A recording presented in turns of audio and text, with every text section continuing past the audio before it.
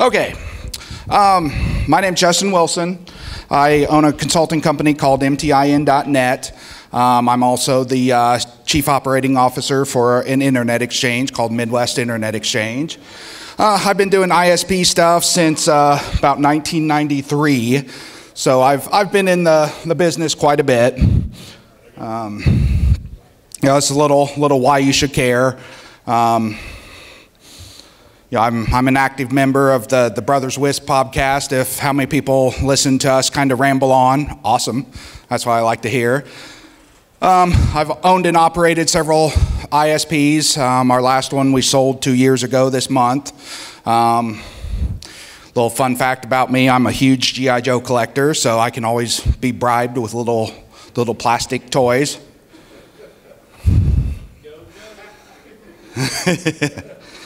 okay, let me figure this, this dude out here. There we go. Okay, so today we're going to talk about uh, three, three different topics. Um, as, as I was kind of preparing for this, every time I do a, a presentation, I, I kind of like to do a general topic just so I can get in on a presentation. So as, as, as it gets nearer and nearer, I kind of listen to what a lot of the forums are talking about, what, what people are talking about. So one of the themes that I, I've been hearing about is NAT.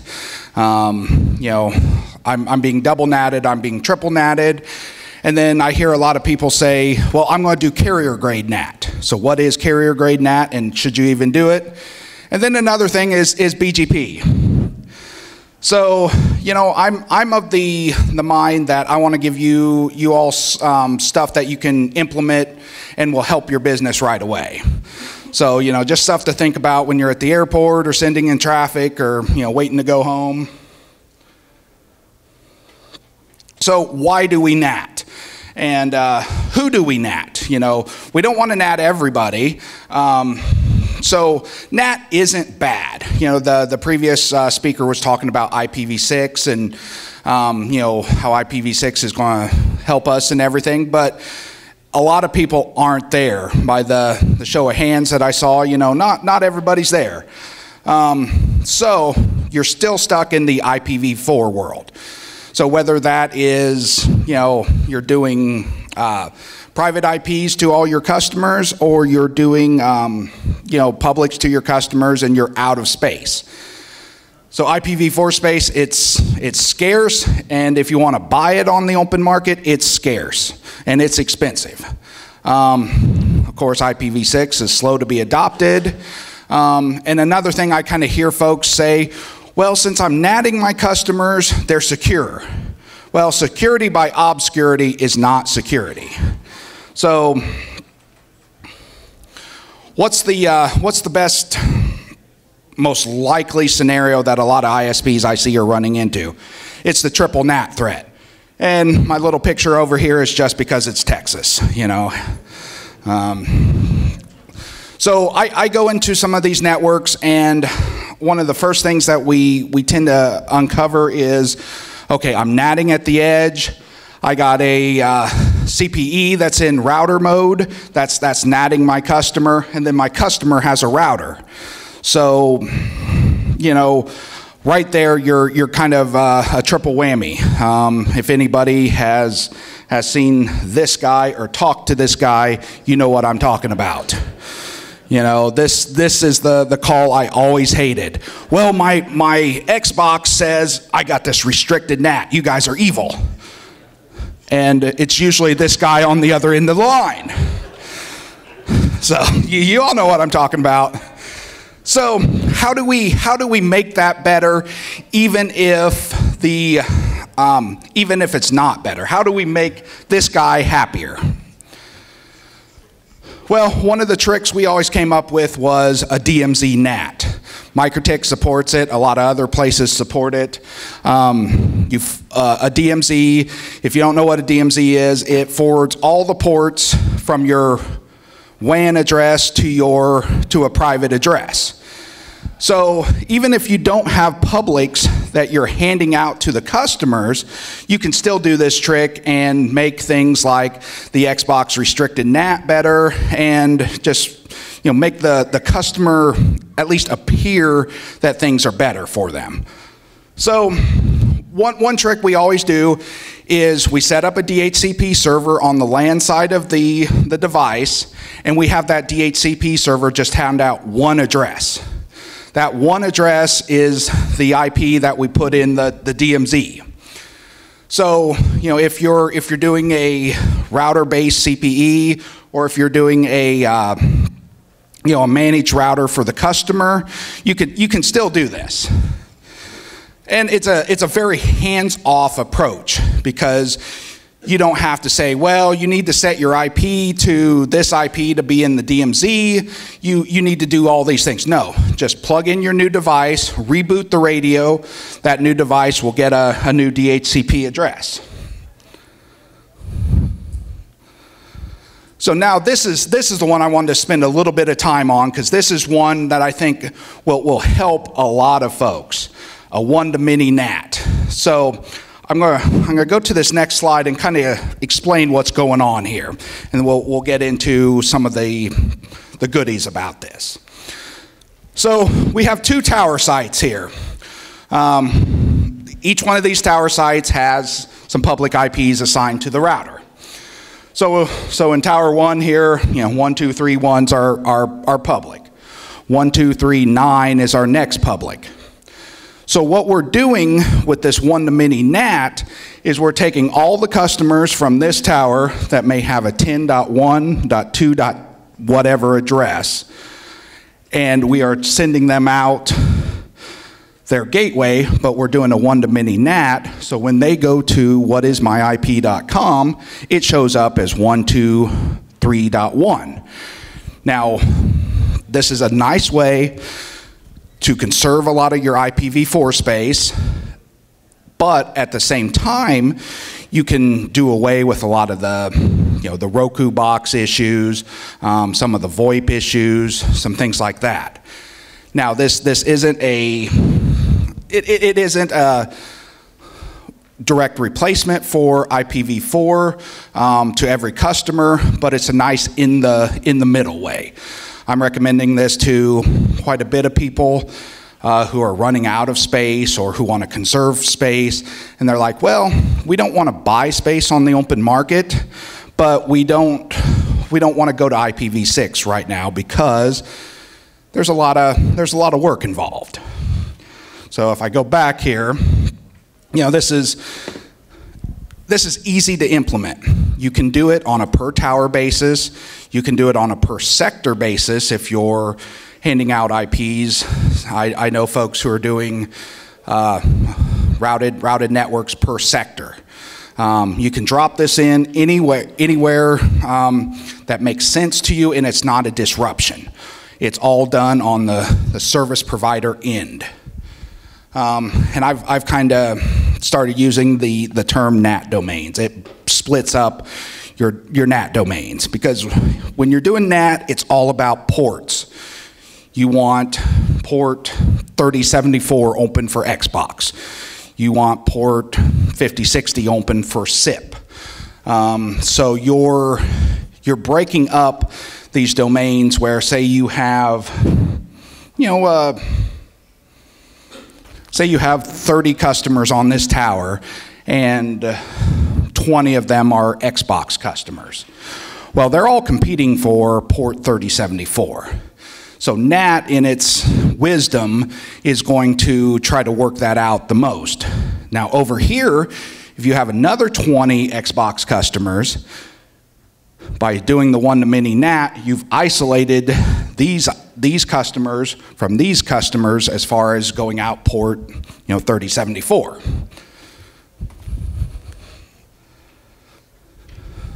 So how, how do we do a one-to-many NAT? Um, it's pretty simple. Uh, on the very basic levels, you use a, a source NAT.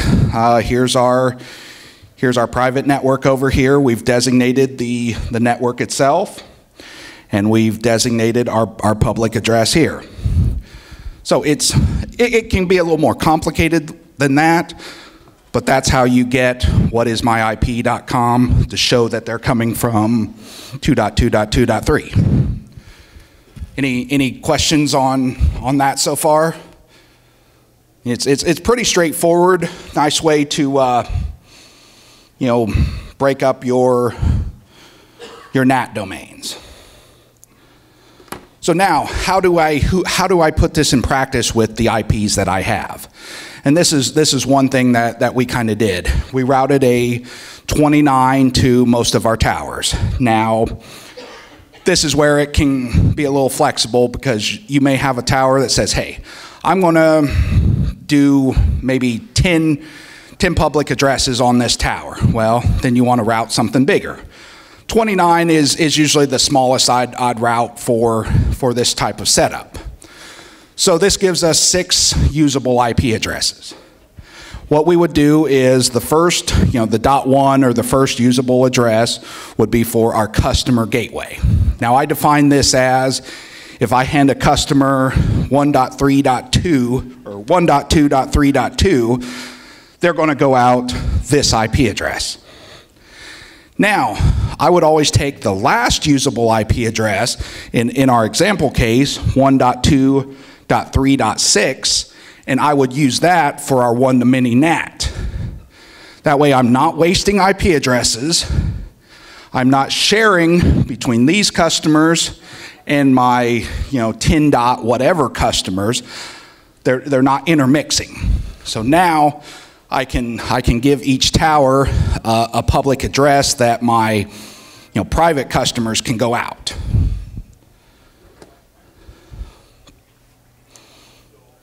So now the biggest, the biggest thing I've been hearing is carrier grade NAT.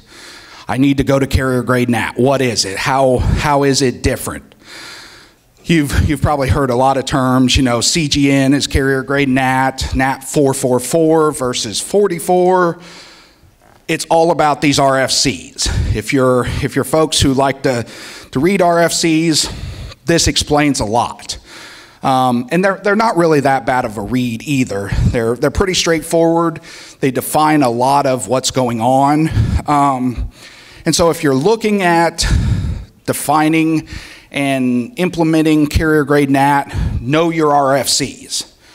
Um, hopefully, I might talk some of you out of doing carrier grade NAT. How, how many people are considering or doing carrier grade NAT? Okay, a couple. Um, for those who raise your hand, are you just considering it or are you doing it? Okay, are you doing it on MikroTik? Okay. And what, what's your rationale why? Uh, 99% of our customers do not need public IPs, Okay. and we just route slash 32s to those that do. Okay, okay. And did you pick carrier grade NAT versus just normal NAT for a reason or? Well, define carrier grade now. We're Ex- ex- Yeah, okay. So that's, that's, that's what I hear from a lot of people. You know, it's carrier grade NAT is, if you follow the RFCs, you have to use very certain IP space. You have to do it in a very, you have to do the natting in a very certain way. Um, it's, it's NAT, but it's NAT for people who I don't want to say have been listening to the sales speak, but it's, it's, it's not an end all solution. So you have some pretty big disadvantages to carrier grade NAT. Um, compared to normal NAT, it is more CPU and memory intensive. Uh, you, port forwarding is no longer an option with carrier grade NAT. So you can't pick and choose what ports that you're forwarding. Um, and carrier grade NAT was kind of came up with to help people transition to IPv6. So most of the, the people that I've, I've worked with, uh, a lot of them being telephone companies, they've been sold by their DSL vendor or whatever, hey, you need to go to carrier grade NAT before you go to IPv6. Well, what typically happens is they just go to IPv6 anyway. So it's still NAT. You still have multiple people behind a single address. Um, you still have issues with services seeing too many IP addresses. So, what are the advantages? I'm not going to sell you on carrier grade NAT. Um, It's easier than IPv6. Um, it's still NAT. It's a very specific way of doing NAT. So, you know, it's, it's a more defined way of doing NAT um, because it was geared toward, hey, I'm a, I'm a carrier. You know, I'm a AT&T, I'm a Verizon. I need something that is, quote, carrier grade. So that's, that's how the whole carrier grade stuff came up with. Um, so there's better things than carrier grade NAT. So as I said earlier, you know, go to IPv6. If you're going to spend money and resources, just go to IPv6. Skip doing carrier grade NAT because if you're doing NAT right now, just tweak that NAT. So, you know, most of these are, are IPv6 stuff. You know, dual stack, NAT64, again, another NAT um, method, but it's using IPv6, DS Lite, and, you know, 6RD.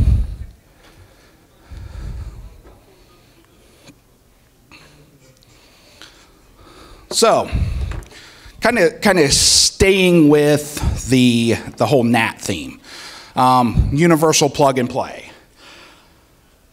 It gets a pretty bad rep, um, mainly because the Linksys, the D-Links, a lot of those people of the world didn't implement it with security in mind.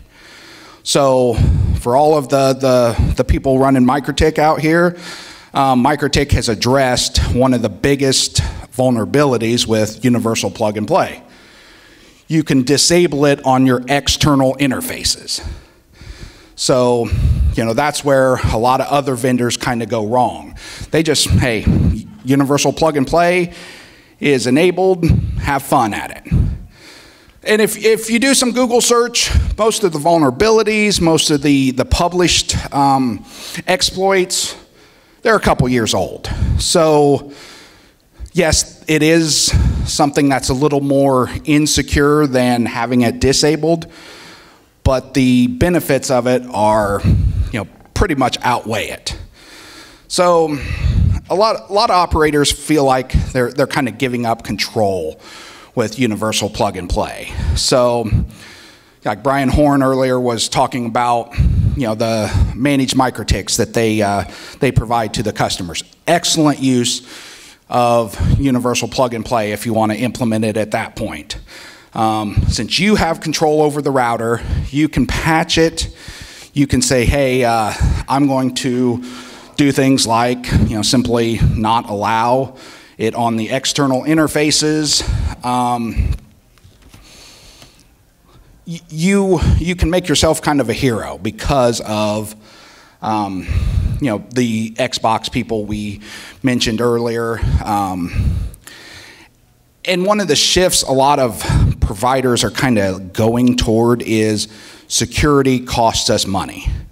Um, that, that can be both ways. It costs us money to implement security, it costs us money not to implement security. So if you're getting customers hacked with out of date firmware and things like that, you know, a managed router, you know, with universal plug and play that you control might be a really nice tool for you. So here's, here's, a, here's a shot from my home MikroTik. I have an Xbox One.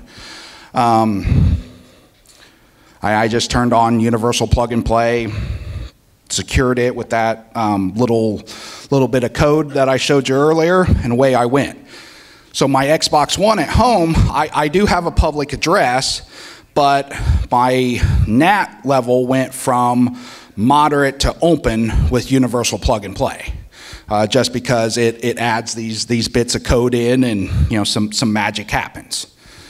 So if I was providing this to some ISP customers, all of a sudden I have all these Xbox gamers that you know, they went from a restricted to a moderate NAT um, or a moderate to an open NAT, and they're like, woohoo, you know, and they're they they don't know what that really does, but it's good. So, any any questions on universal plug and play? Okay.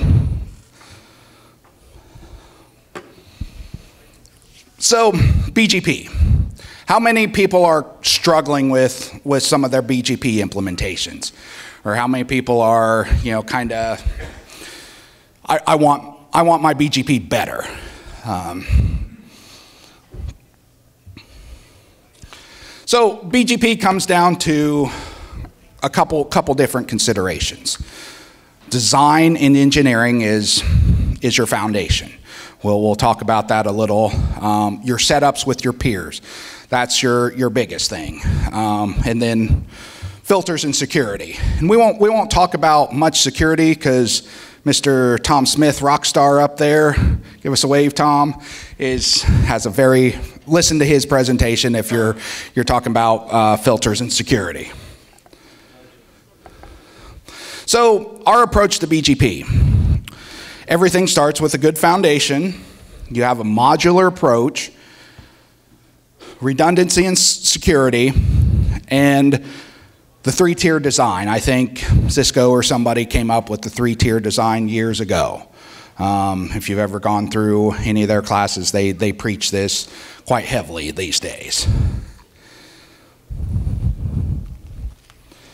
So here's, here's a, a typical small BGP setup that we, we like to see.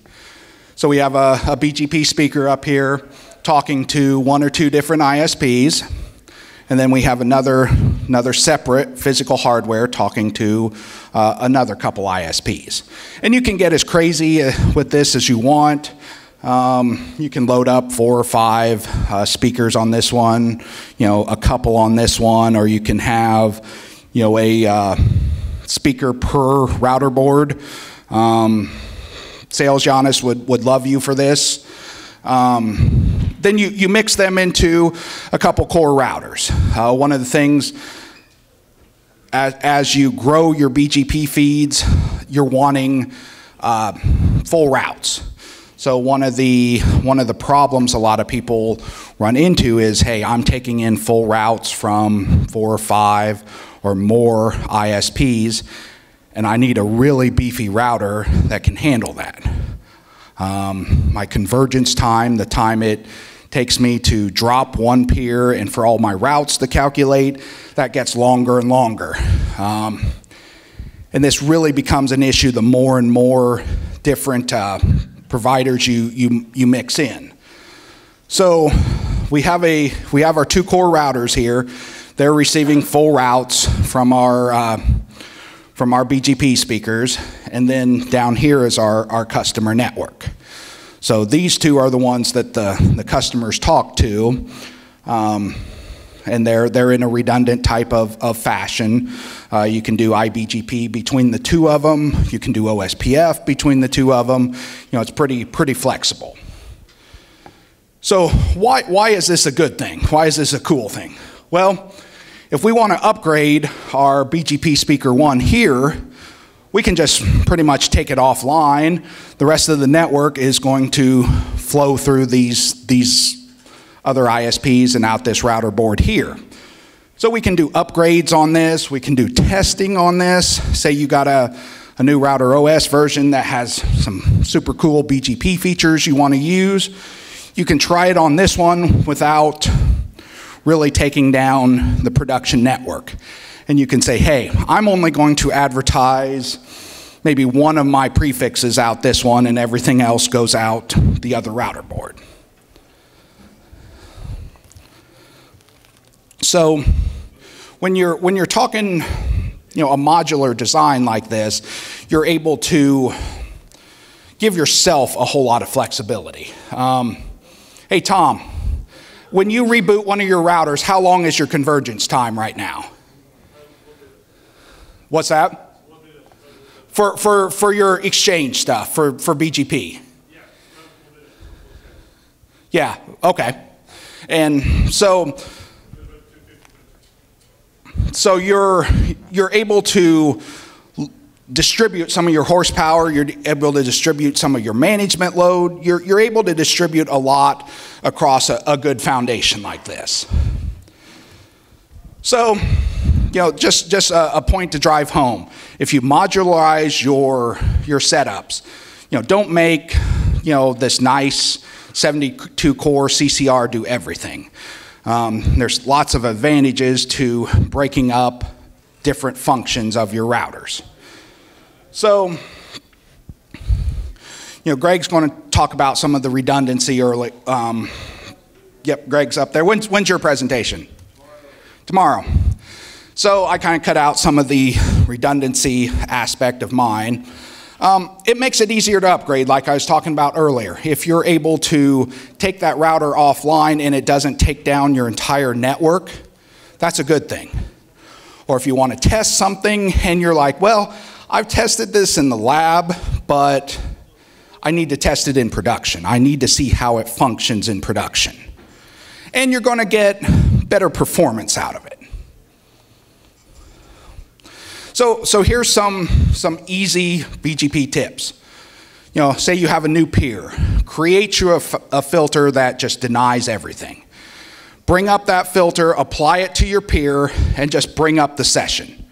A lot of BGP issues can be overcome if you just leave the peer up and maybe every 12 hours that peer goes down.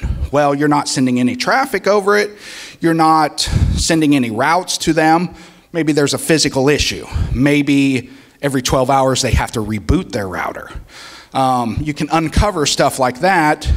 It's just sitting there attached to it saying, Here I am. Um, and you can, you can kind of get an indication of how good that provider is going to be. Um, there, there's some new methods of thinking kind of floating around with uh, BGP.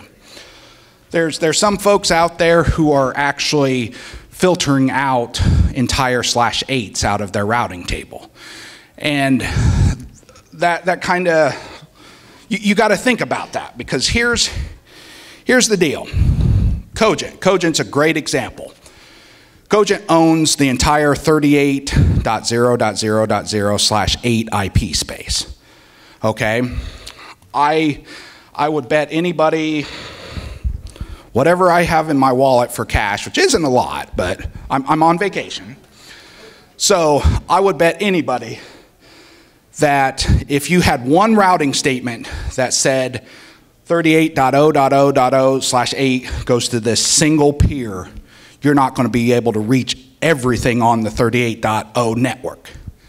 So why do you need it? Because in BGP, the more specific wins. If it has to choose between 38.0 slash 8 and say, you know, 38.18.64.0 slash whatever that is, 20, it's going to pick the slash 20. It's going to follow that route. So if you filter out these slash 8s, your, you're not really gaining much as far as entries in your BGP table, but you are gaining processing power. You're gaining convergence time. And when you reboot a router or drop a peer or add a peer, convergence time is critical. So, and, and if you're, if you know your network, know your peers real well, then you can say, well, I've been filtering out slash eights for a while. Maybe I'm going to filter out slash nines or tens. Or, you know, maybe you want to get real aggressive and go, you know, eight through 12. So now you're dropping a fair amount of stuff from every peer that you have. Well, if you have five and six and seven and 10 peers, that adds up pretty quickly. So that makes your convergence time better, your route selection much you know, much quicker. Um, there, there are some gotchas to it. Um, if anybody's trimming their routes on, say, an international link, um, unless you have a couple international links, it might not be, you know, too too well for you. So you got to kind of pick and choose where you where you do this. Um, you just remember, the more specific is going to win. So this, this slash eight that's in my routing table, it's hardly ever going to win when, when things are picked. Now, yes, you have some companies that are doing summarization, but Cogent's a great example. Um, all of these networks are not in the same place. Good example is in Indiana. Most of the people in Indiana, that have Cogent IP space are 38.86 something. Well, as you can see, this is just one small screenshot from, uh, from a website that gives all the, uh, the prefixes that, that Cogent has. Well, 38.86, if you're in California, it, it has to find its way to Indiana. So it's not going to say, okay, I'm going to find 38.0.0 slash 8 first and then go from there. It's going to say, hey, I'm connected to six different ISPs. Which one can get me to 3886?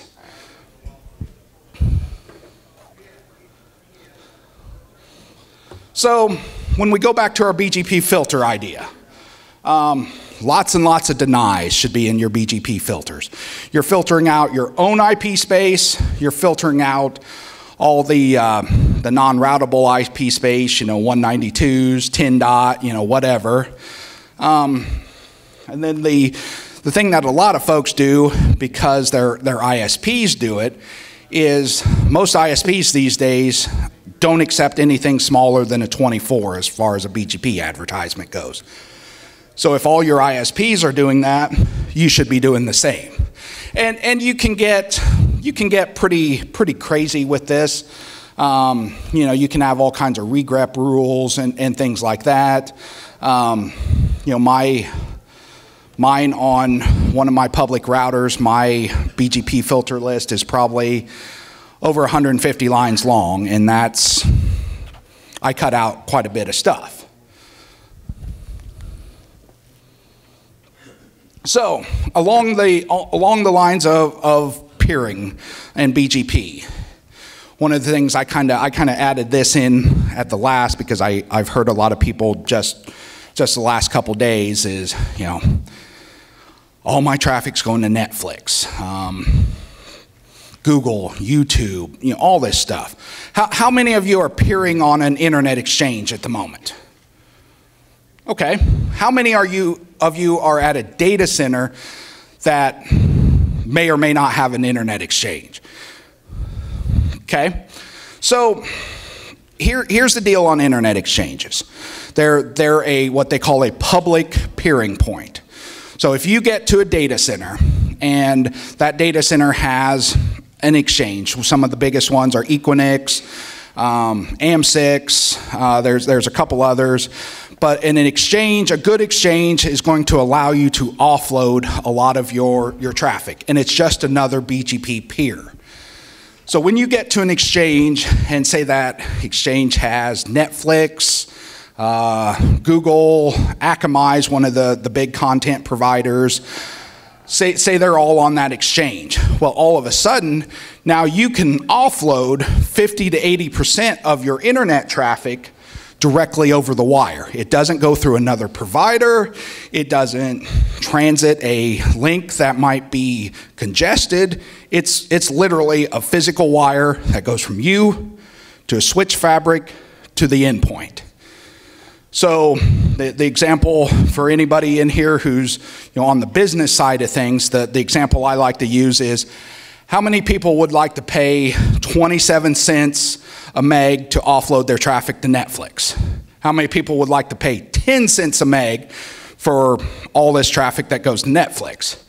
It, it, it becomes a great economy of scale. Now, it's, it's not, that, not that simple because depending on where you are, you have to get to that data center that has that exchange. Um, you may have to pay for a cross connect, but in the grand scheme of things, it's pretty lucrative. And we're finding that most of the ISP side of things, most 50 to 80% of their traffic is some sort of streaming traffic.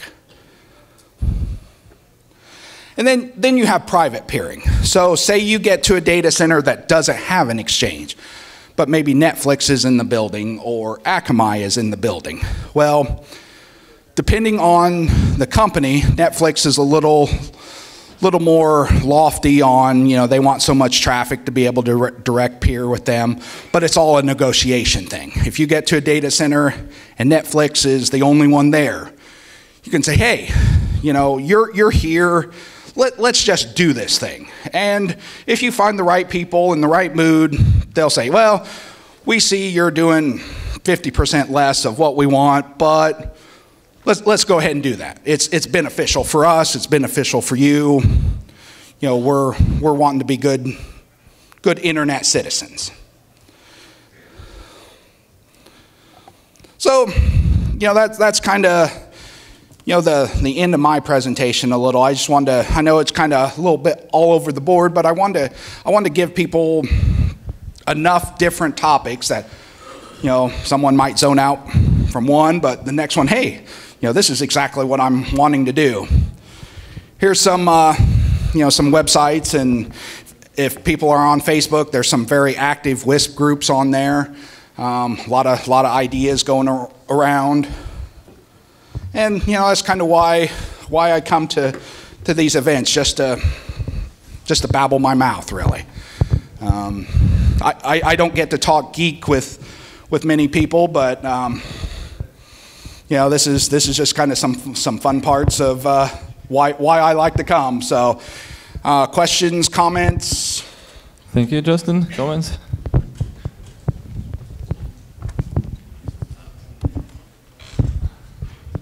All right, get ready. Okay. I've got the same Xbox people on my network and they're driving me insane. Um, we're doing routed network, private IPs. I understand UPnP. I'm not exactly sure what to turn on, where to turn on. I mean, most time we have new, ah, turn off turn off DHCP on your router, plug it into port one, and then get your IP off our MikroTik, you know, client, and that takes at least one NAT out. And usually, I don't hear any more out of them. Um, is it what do you turn? Where, where are you turning on UPnP? You turn it on the access point, on on their client modem. Where else? I mean, what, what are we what are we looking at?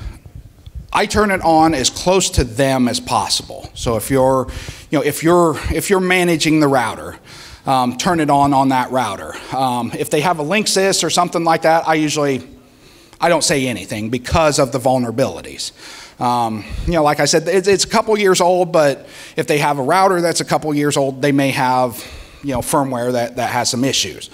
So you want it to be able to, whatever their WAN IP is, whether it's a public IP or a private IP, you want that WAN IP to be able to traverse to the edge of your network without being natted or, you know, somehow molested in that way.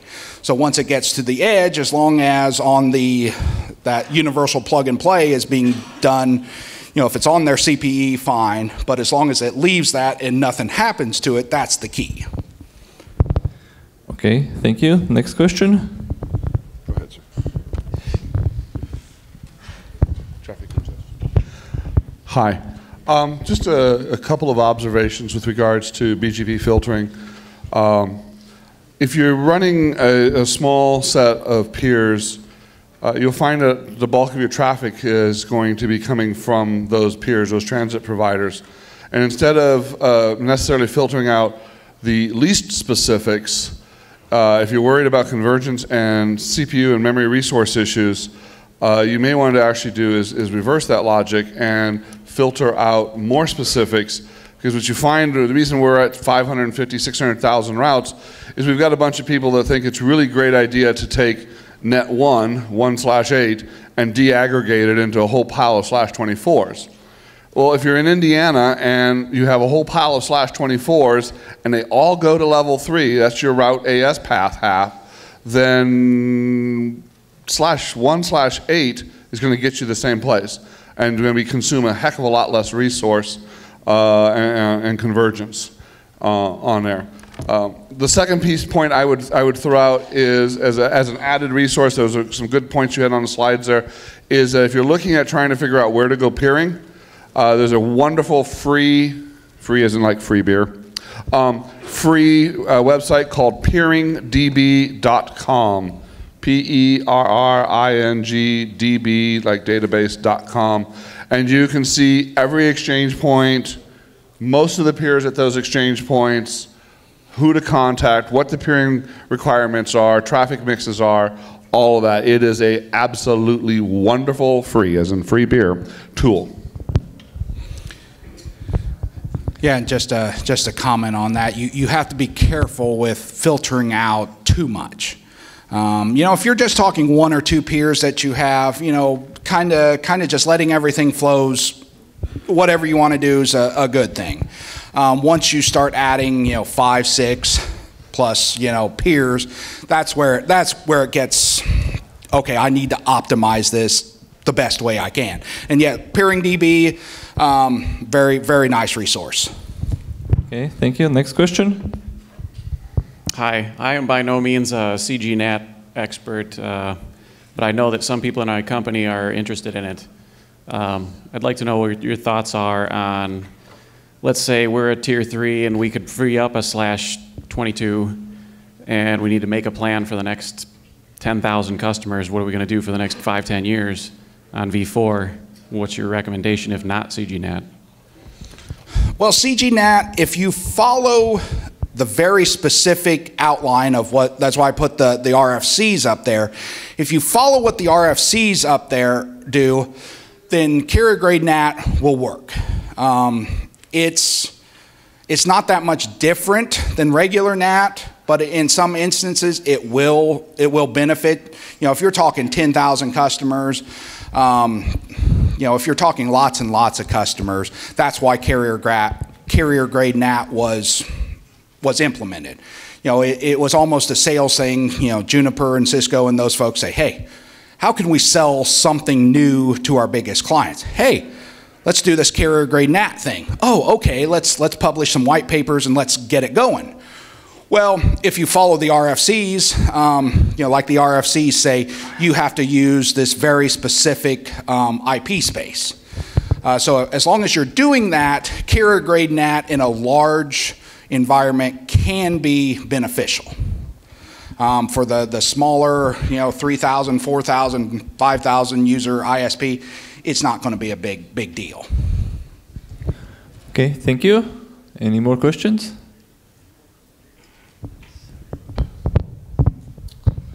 Um, got a question regarding when you're natting uh, for your end users, regardless of the reason that you're doing it. Um, we'd like to know if you have any experience or anybody in the room when the law enforcement comes, including FBI, and says, "Hey, we want to know who's behind this IP address." Yeah, that's that's one of the the kind of disadvantages of NAT.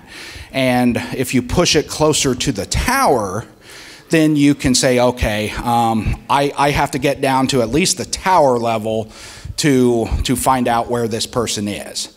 Um, you know, most of the time you can you can run some other scripts on the MikroTik that says, hey, all of my you know my known uh, torrent users, all of my known peer-to-peer users, I'm going to dump them into a list.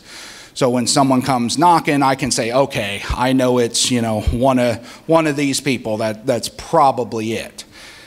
Now, when you're talking something more intensive than you know a, a DCMA takedown notice, when you're talking about a, a subpoena or something like that, it gets to the point where your network should be CALEA compliant. Once your network is CALEA compliant, it doesn't really matter if you're doing NAT. It doesn't matter if you're, you know, how you're handing out those IP addresses or what you're doing with those IP addresses. Um, that's what I worry about. I don't worry about, you know, Sony Pictures sending my customer a takedown notice. I worry about, um, you know, the FBI coming and serving me with a wiretap warrant or a CALEA warrant. Two, two very different things. If they're serving me with a CALEA warrant, it's big time. So if my network is CALEA compliant, which is a, which is a standard, if it's CALEA compliant, then I can say, hey, Mr. You know, Mr. FBI person, I'm CALEA compliant. You probably already know that. Where do you need to plug in? Okay, thank you. Yeah, Dennis, Dennis knows some.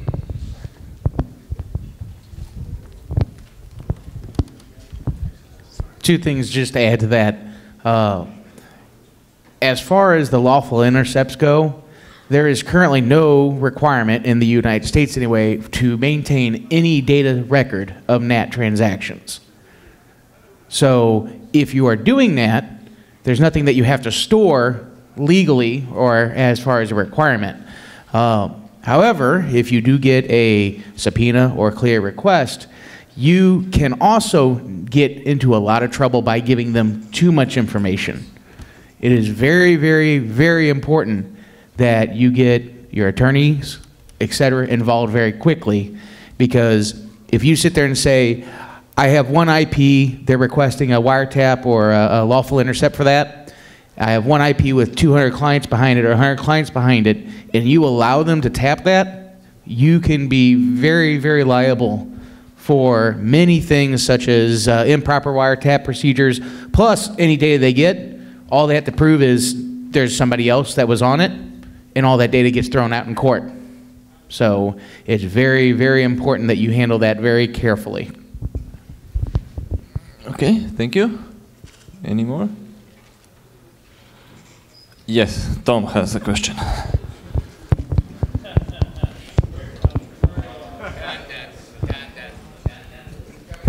Sorry, Won't be lads. able to understand Tom anyway, so don't worry about it. Just want to correct your pronunciation of routers. It's routers. I know. Uh, just, uh, just a quick one. Uh, just in response to Dennis Burgess's uh, comment there about the data retention, in the likes of the European Union, they're always trying to bring in that type of data retention laws. So we actually have a six-month minimum to two-year maximum retention. Now it's been thrown out by loads of constitutional courts, so the politicians keep trying to rewrite it so it becomes constitutional. But uh, it's it's one of those things that I think it's only a matter of time before the US will have that type of uh, legislation in place. That's all. Reuters, just remember that. Thank you. Uh, thank you, Justin. Thank you all.